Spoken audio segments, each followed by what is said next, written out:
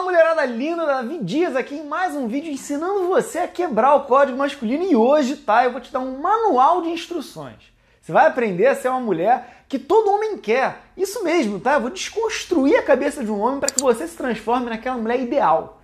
No decorrer das nossas vidas, tá? Geralmente, nas mulheres, elas se perguntam por que, que os homens parecem ser tão difíceis de agradar. Mas felizmente eles não são tão difíceis assim se você for um homem e entender como eles pensam. Então aqui vai estar tá como ser as mulheres que todo homem quer. Beleza? De maneira geral, cada um tem um gosto específico quando se trata de características que eles procuram em uma mulher. Mas existem, tá? Seis traços muito específicos, porém que todo homem acha extremamente atraente em uma mulher. E aí você vai descobrir exatamente esses seis traços nesse vídeo, tá bom? Embora alguns desses traços mencionados, tá, possam parecer senso comum, o resto vai acabar aparecendo que saiu de uma música da Anitta, tá? Uma coisa que você vai reparar é que existe muita verdade em cada um desses traços. Então vamos lá, aqui tá como ser a mulher que todo homem quer. A primeira característica é o seguinte, que as aparências, gente, elas são importantes, tá? Mas o segredo é a autoconfiança, mais do que a aparência, é a autoconfiança. Sim, parece um enigma, tá? Os homens eles são conhecidos por serem criaturas visuais que precisam gostar do que eles estão vendo primeiro, só para depois gostar de outros traços da mulher, para conhecer ela a fundo, né? Então, a superfície assim, é importante. Então você tem que ter em mente que isso não tem nada a ver com peso ou biotipo, já que muitos homens gostam de diferentes tamanhos de mulheres. A aparência é importante. Significa o seguinte, que a mulher ela precisa ser apresentável. E aí, embora muitas mulheres tá, preferem vestir roupas confortáveis e têm preguiça de fazer maquiagem para sair, isso é na verdade uma oportunidade perdida. Tá? Porque você pode conhecer um bom partido em qualquer lugar. Você pode estar andando na rua e conhecer um cara. Agora, isso não significa que você tem que se vestir com um traje de gala para ir no mercado. Agora, se você deixar um moletom em casa, você vai ter mais chances. Vamos ser sinceros. O homem ele admira uma mulher que se orgulha da aparência dela, seja ela magra, gorda, não interessa. Para ele, sair de casa com um moletom passa a impressão de que você não tem orgulho de si mesma. E aí que você não está interessado em encontrar sua alma gêmea, ou que pelo menos você não é esforçado. Alternativamente, o homem ele também admira a mulher que se veste de acordo com o seu tipo corporal. E aí isso inclui mulher de todos os formatos e tamanhos. Os homens eles não são é, é, puramente interessados na perfeição, não é isso. Se você está acima do peso, existem vestidos hoje em dia que vão embelezar as suas curvas em vez de mostrar as suas curvas do jeito errado. Então você não precisa se esconder atrás de camisetas e calças de tamanho maior do que seu manequim para parecer apresentável. Não é isso. Você não precisa ser uma magrela de tamanho zero para parecer bonita. Também não é isso. Agora, existem blusinhas, saias e calças jeans de todos os tipos que fazem a mulher ficar ótima independente do tipo dela. Além disso, tá? Quando você se sente ótima com uma roupa, você também esbanja autoconfiança. E isso é um segredo legal.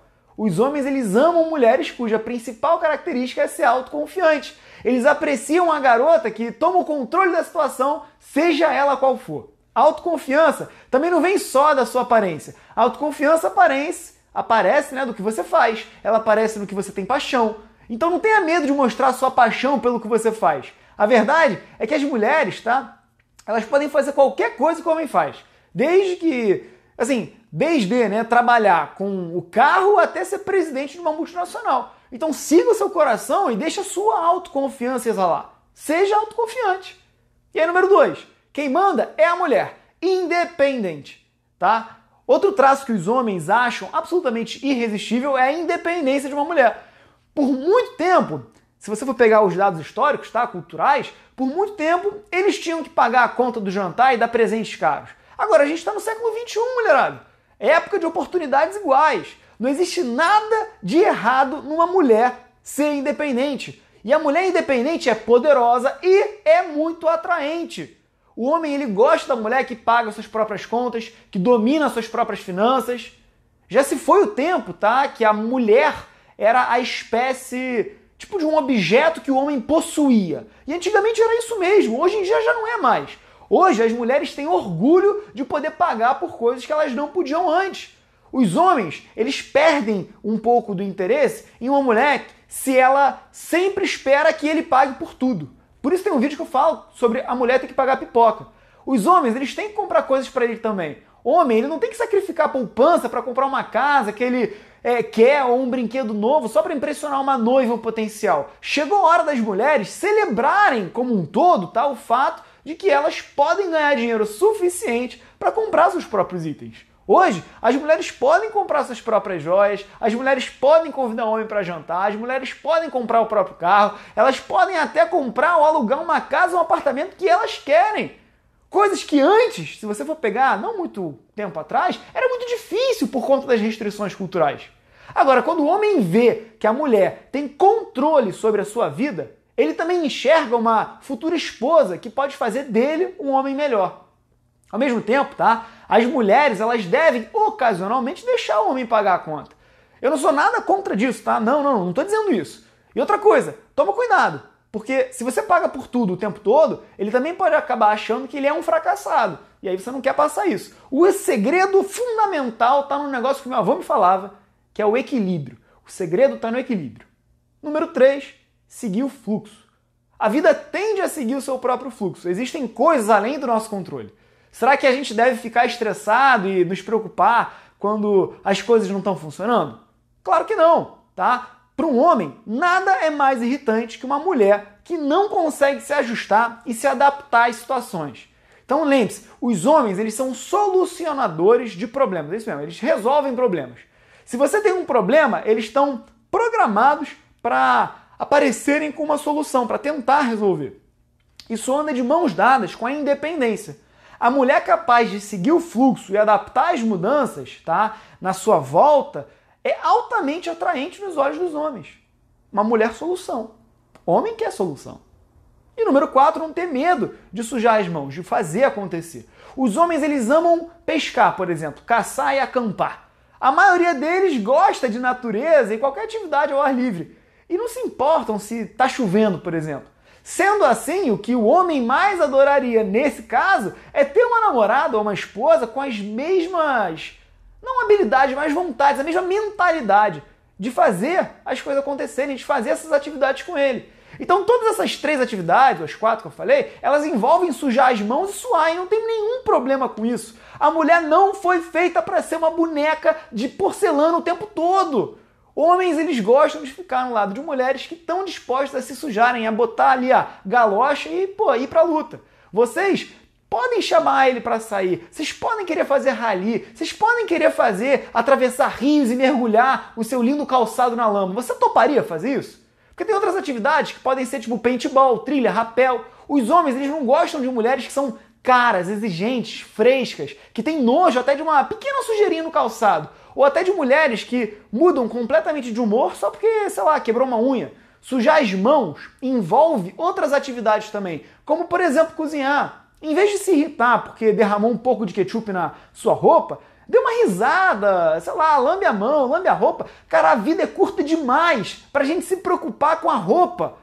Quando o homem passa o tempo junto com uma mulher que não tem medo de se sujar, ele vê uma mulher que está colocando 110% de esforço na atividade que os dois estão fazendo. E essa união é muito atraente. Portanto, cozinhe sem avental, aproveita o momento. Mesmo se você não tinha intenção de se sujar, se sujou, ok, acontece. Acredita, ele vai sentir a sensação de liberdade de ser quem ele é do seu lado. E melhor de tudo, você também. Você vai poder se libertar. Número 5, assumir o controle de vez em quando, tá? Muitas pessoas enxergam relacionamentos como uma competição por controle. E aí, embora alguns homens adorem controlar o ritmo do relacionamento, a maioria dos homens gostam quando as mulheres tomam as rédeas de vez em quando. Pode ser algo tão simples quanto planejar um encontro ou algo tão sedutor quanto dominar ele na cama. É! Para a maioria dos homens, uma mulher que sabe assumir o controle de vez em quando é irresistível. Isso mostra para ele que você não é submissa, o que pode ser irritante se for algo que o seu parceiro está constantemente tendo que lidar, lidar, tendo que lidar. Os homens eles também preferem que as mulheres tenham alguns planos às vezes. Vai ficando difícil para ele e para gente, tá? Achar um lugar romântico para vocês saírem. Então, se tiver um lugar que você quer ir, marca, ele vai adorar. Os homens eles não são programados para serem românticos o tempo todo. É por isso, tá, que eles adorariam uma iniciativa da mulher de tempos em tempos. Como mulher, tá? Você também está programada, você está mais programada que a gente, inclusive, para ficar em sintonia com as coisas românticas, porque só você sabe o que você gosta. Portanto, é mais fácil para você planejar o encontro dos seus sonhos. A mesma coisa vale para coisas diferentes na cama. Os homens estão acostumados a serem dominantes na cama e isso acaba virando rotina para eles. Não estou dizendo que não tem exceção, tá? Não é isso. Agora, assuma o controle da transa de vez em quando e deixa ele ser submisso para variar. Ele vai ficar bastante excitado ao sentir que você está dominando. Essa é uma forma muito fácil de apimentar as coisas. Vale a pena fazer isso com ele? Eu acho que vale.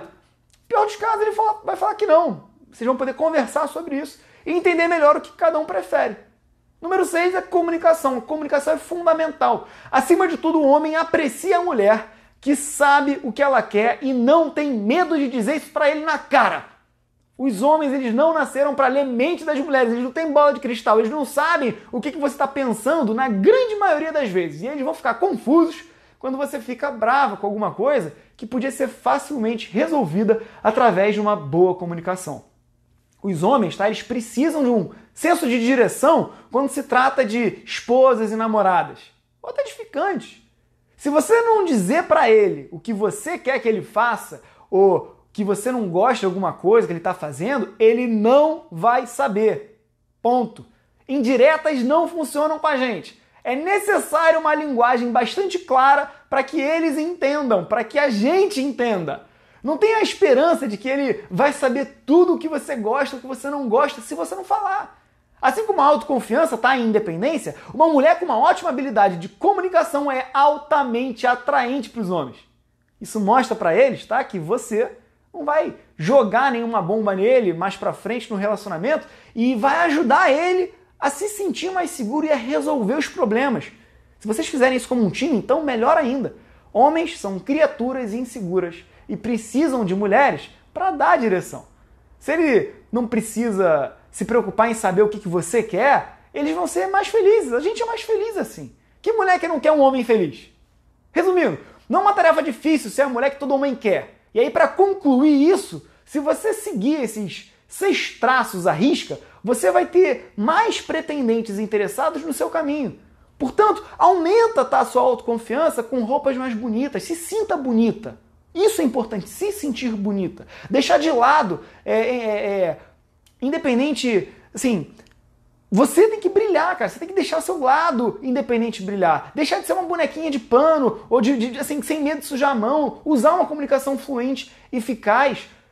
Você vai ter um homem que ama, caidinho por você se você usar esses traços. E aí eu tenho uma sugestão para você. Escreve aqui nos comentários qual é o seu ponto fraco desses traços que eu citei e o que, que você poderia fazer para melhorar.